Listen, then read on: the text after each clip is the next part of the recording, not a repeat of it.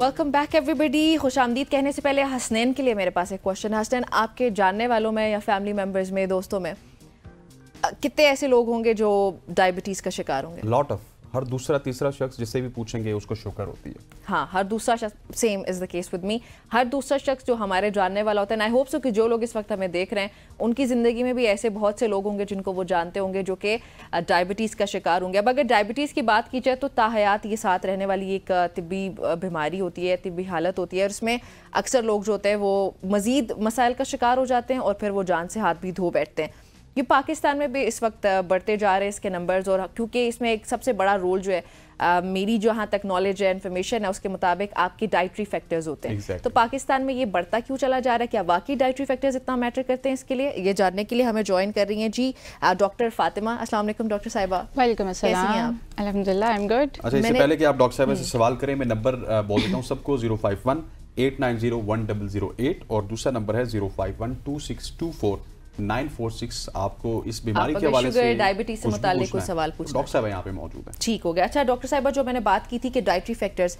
क्या हमारी गजाएँ एक तो अच्छा एक तो डायबिटीज़ होने के बाद आपको बहुत एहतियात करनी पड़ती है लेकिन क्या हम उससे पहले इतने गलत खाने पीने खा रहे हैं या पी रहे मशरूबात जिसकी वजह से डायबिटीज़ हो रही है हर दूसरे शख्स को? अच्छा बेसिकली जो डायबिटीज़ है फ़र्स्ट ऑफ़ ऑल मैं ये कहना चाहूँगी कि diabetes silent killer okay it is और पाकिस्तान में हर तीन में से एक शख्स को डायबिटीज़ का मर्ज लाक है ठीक है? oh और we have the same genetic makeup almost same genetic makeup जिस तरह इंडियन के पीपल का है बट स्टिल पाकिस्तान में इसकी प्रेवलेंस ज़्यादा है। Hmm. और उसकी मेन रीज़न यही है कि हमारी dietary habits are slightly different from Indian people and plus lack of physical activity तो ये दोनों फैक्टर्स कंट्रीब्यूट करते हैं ठीक है? और इसमें आप देख लें कि हमारी wheat is the staple diet ठीक है? इसके अलावा मैदा हम बेकरी की चीज़ें बहुत ज़्यादा यूज़ करते हैं ठीक है? And we are consuming lots and lots of sweets and sugar and you know beverages and we don't have any physical activity we are not doing any walk ठीक है? Even thirty minutes of walk जो है वो भी हमारे लिए per day बड़ा मुश्किल होता है एंड सीडेंट्री लाइफ स्टाइल की वजह से यू नो डायबिटीज़ पाकिस्तान में ज़्यादा प्रेवलेंट है as compare to the other countries ठीक। अच्छा जिस तरह आपने बताया पाकिस्तान में डाइटरी रीजंस भी हैं लेकिन आ, हम जब डॉक्टर के पास जाते हैं तो ये सुनने को मिलता है कि आपकी जेनेटिक्स में था। सो so, अगर आप अपनी डाइट भी अच्छी रखें सारा कुछ हो लेकिन आपकी जेनेटिक्स में है तो वो किस तरह चेंज होगा? अगर आपकी जेनेटिक्स में diabetes you here you are more prone to diabetes ठीक है? Type two diabetes and type one both have the genetic predisposition but uh, आप इसको कंट्रोल कर सकते हैं ठीक है? If you are consuming you know right amount of diet and you know balance diet जिसमें कार्ब्स uh, कम होंगे ठीक है? प्रोटीन का पोर्शन डायबिटीज़ पीपल के मुताबिक होगा प्लस फ़िज़िकल एक्टिविटी तो yes you can you can prevent your diabetes and number two you can also reverse the diabetes in the first few years of your life so so, ये दो चीज़ें बड़ी important हैं ठीक है? अगर किसी की फादर को डायबिटीज़ थी या किसी की मदर को डायबिटीज़ थी तो ये ज़रूरी नहीं है कि बच्चे को डायबिटीज़ होगी ठीक है? आ, इसका जो मेन जो प्रिवेंशन है that is life style change that's it specially for type two diabetes but at the same time type one diabetes अगर किसी पेशेंट को है तो उसका इतना प्रिवेंशन हम नहीं कर सकते। Term that you are using type one diabetes and type two diabetes अगर वो ऑडियंस के लिए बताएँ हाँ. कि उसमें किस तरह से क्या फ़र्क है और किस तरह ख्याल रखना चाहिए। बेसिकली जो टाइप वन डायबिटीज़ है दैट इज़ इंसुलिन डिपेंडेंट ठीक है? और बेसिकली ये चाइल्डहुड में डायग्नोज हो जाती है या आपकी यू नो अर्ली इन्फेंसी में डायग्नोज हो जाती है ठीक है? और उस पर आपकी इंसुलिन काम करती है प्लस नंबर टू एक और ड्रग है सेल्फोनाइल यूरिया वो काम करती हैं। जो टाइप टू डायबिटीज़ है वो आपकी ऑलमोस्ट फोर्टी ईयर्स के बाद ज़्यादातर जो है ना मिडल एज में डायग्नोज होती है। In plus it is related to our life style ठीक है? Obesity and our dietary pattern और lack of physical activity that is link to our type two diabetes so basically type one diabetes का जो इतना burden नहीं है most common diabetes is type two diabetes ठीक है? अच्छा। तो we can prevent type two diabetes plus it is reversible in the first few years of life so या ये दोनों फैक्टर्स अच्छा, हंड्रेड परसेंट रिवर्स हो जाता है? अगर इसको अर्ली हम पकड़ लें यस अर्ली अगर हम इसको टाइप टू डायबिटीज़ को पकड़ लें और टाइमली इंटरवेंशन कर लें that include your life style number one your physical activity number three drugs then it can be reversed मतलब कि आज तो बहुत सारे कॉन्सेप्ट आपने क्लियर कर दिए जेनेटिक वाला भी आपने बता दिया कि उसकी प्रिवेंशन आप अगर अर्ली स्टेजेस पे उसको और ज़्यादा केयरफुल हो के वो तमाम तर चीज़ें नहीं करेंगे तो वहाँ पे भी आपकी प्रिवेंट हो सकती है। नॉर्मली हमारी सोसाइटी में सोचा जाता है नहीं हमारे तो बड़ों को था इस वजह से हमें होना ही होना है तो दबा के खाइए मीठा। जी जी बिल्कुल बिल्कुल। और लोग फिर वो सोचते हैं हमें तो होना ही होना है। और फिर उसके बाद वो डॉक्टर के पास हाँ, होना नहीं है रोक सकते हैं यस डॉक्टर के पास भी बहुत लेट जाते हैं तो at that time it's not reversible you know it has already cause the damage and you know diabetes एक ऐसी बीमारी है कि आपके हर ऑर्गन को इफ़ेक्ट कर सकती है हम्म, ठीक है? बिल्कुल। Including your heart your eyes your brain your nerves every सब बॉडी पार्ट्स को कर सकती है। अच्छा अब अगर किसी को हो जाती है तो हम लोगों ने अक्सर देखा है कि वो लोग फिर भी मीठा खा रहे होते हैं जबकि आप बता रही हैं कि लाइफ ही इसका वाहिद सोल्यूशन है। तो उनके लिए कितना इंपॉर्टेंट होता है? हमारे ऑडियंस को बताया जिन लोगों को शुगर वगैरह है कि वो उनके लिए कितना ज़रूरी है? अगर हो भी गई है तो उसके बाद एहतियात करना। यस yes, अगर एक दफ़ा एक पेशेंट को डायबिटीज़ हो गई है तो सबसे पहले जो हम स्टार्ट करते हैं that is the life style intervention ठीक है? उसमें वही चीज़ें आती हैं कि हम उसको डाइटरी मॉडिफिकेशन का बताते हैं ठीक है? हर पेशेंट की जो नीड होती है वो डिफरेंट होती है। मैं ये नहीं कह सकती कि मैं एक पेशेंट को अगर एक डाइटरी हैबिट बताती हूँ पैटर्न बताती हूँ तो वो दूसरे पेशेंट के लिए भी फिट होगा। So basically it's a tailored made approach ठीक है? जिस तरह टेलर हर बंदे के हिसाब से वो बनाता है ड्रेस तो that's the same thing with the diabetes ठीक है? And point number two is that we have certain drugs you know और हम वो स्टार्ट करते हैं for the type two diabetes type one में हमारे पास एक ही ड्रग काम करती है plus insulin but in type two we have many drugs and you know injections and you know at the latest stage of the life जब ये ज़्यादा कॉम्प्लिकेट हो जाती है हम्म। तब हम insulin in type two diabetes भी स्टार्ट करनी पड़ती है। ठीक। और अगर मैं आपसे स्पेशली पूछूँ कि जो डायबिटीज़ के पेशेंट्स हैं उनके लिए एक्सरसाइज कितनी ज़्यादा ज़रूरी है? अर्ली स्टेज में में भी और आगे भी जाके भी। यस अर्ली स्टेज में तो हमारे पास इसलिए ज़रूरी है कि we have to reverse the diabetes लेकिन पेशेंट हमारे पास अर्ली स्टेज पे नहीं आता।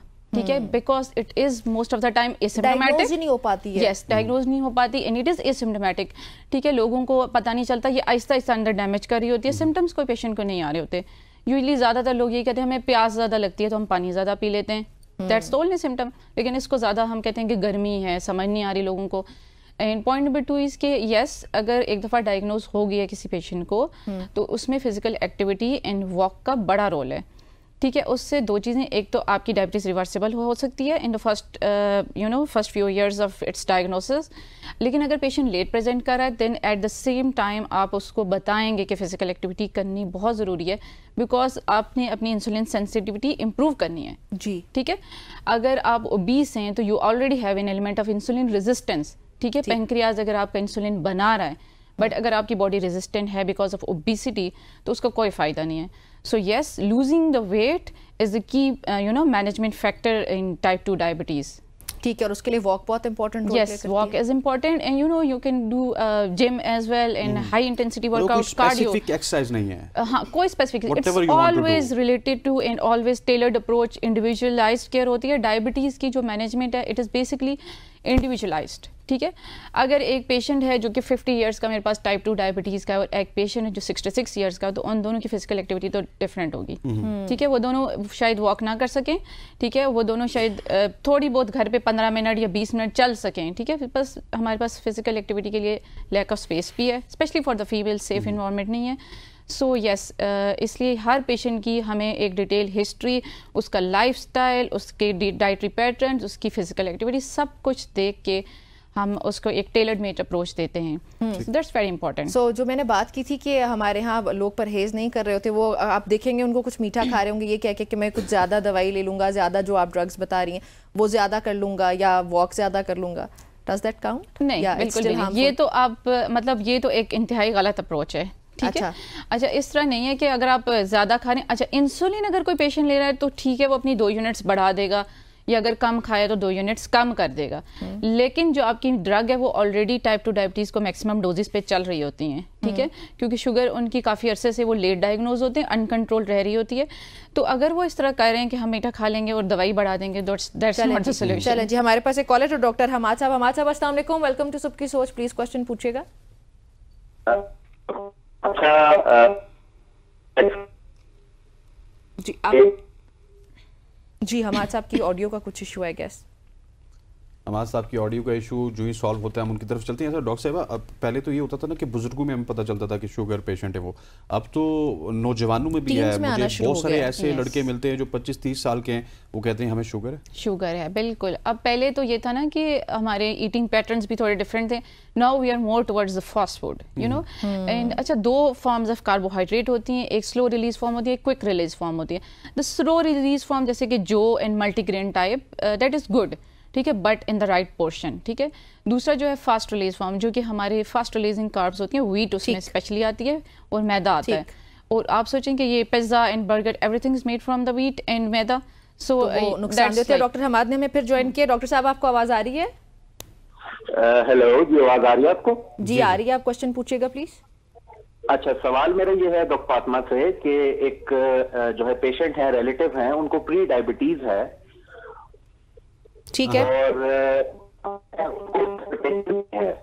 तो उसके लिए क्या होगा?